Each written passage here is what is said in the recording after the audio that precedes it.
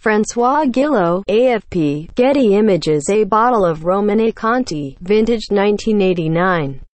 The former personal assistant to Goldman Sachs co-president David Solomon fled to Rome in November 2016, one day after privately admitting he took $1.2 million worth of rare wine from the executive's collection. A federal court judge in Los Angeles on Wednesday denied Nicolas DeMeyer bail and called him a flight risk. DeMeyer, who had worked for Solomon from 2008 to 2016, had admitted to his boss he took the wine during a meeting with him and his wife at a Manhattan hotel that November, the day before he fled the U.S.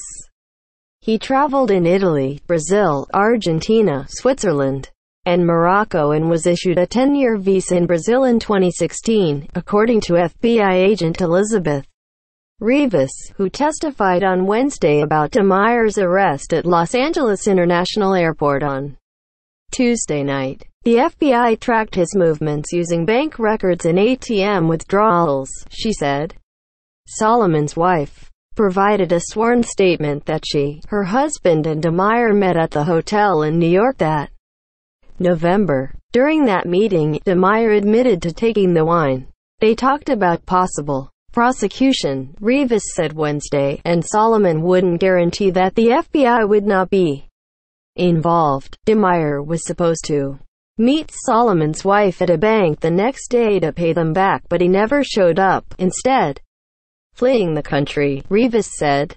In a recorded phone call to Solomon's wife after that day, he admitted again he took the wine and had left for Rome.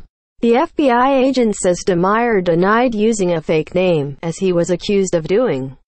In an indictment unsealed Wednesday by federal prosecutors in Manhattan, the Los Angeles judge ordered DeMeyer to be detained and sent to the federal court in Manhattan, where he was charged by a grand jury. DeMeyer, 40, has no stable employment, the Los Angeles judge said in a hearing Wednesday afternoon, and there was a concern he would not show up in New York for court. DeMeyer took hundreds of bottles of wine from Solomon's personal collection, including seven of a rare French Burgundy that Solomon had acquired for more than $133,000. The Indictment said, as a member of Solomon's household staff, one of DeMeyer's jobs had been to receive wine shipments at the executive's New York apartment and then to transfer wine from the New York residence to a property in the Hamptons. Instead, the grand jury indictment said he used the fake name, Mark Miller, to sell stolen bottles to a North Carolina wine dealer.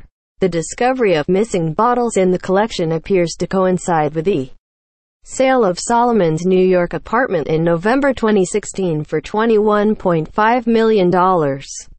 That apartment was described as having Central Park views and a 1,000 bottle wine storage area.